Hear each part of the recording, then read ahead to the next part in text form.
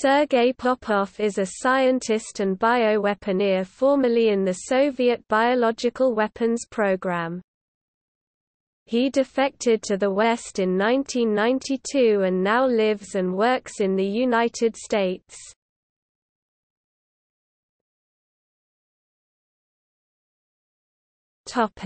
Biography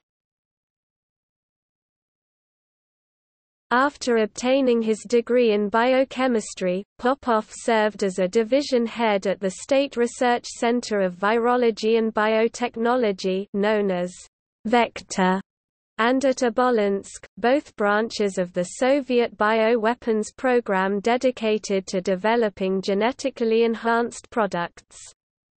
His position led him to expand his researches into the fields of molecular biology and microbiology. Popov worked at Vector from 1976 to 1986 and at Obolensk from 1986 until 1992.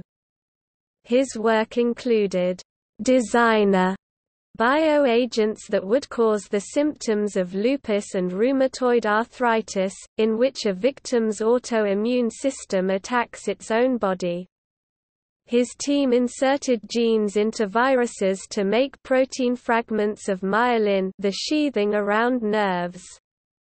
Victims that became infected would develop multiple sclerosis, a degenerative disease of the nervous system. By splicing myelin into Legionella Legionnaire's disease, they also created an agent that caused brain damage, paralysis and death. The recombinant Legionella was very infectious and lethal with only a few cells causing disease. At Obolensk, Popov and his team spliced the diphtheria toxin gene into the plague bacterium, thus creating a highly virulent and deadly strain.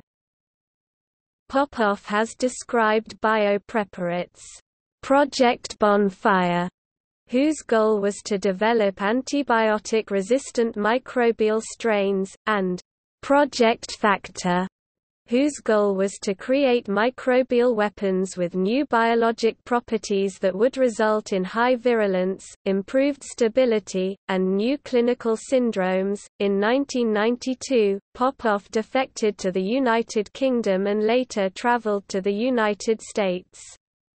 He worked for Hadron, Inc. in microbiology and pharmacology and at George Mason University.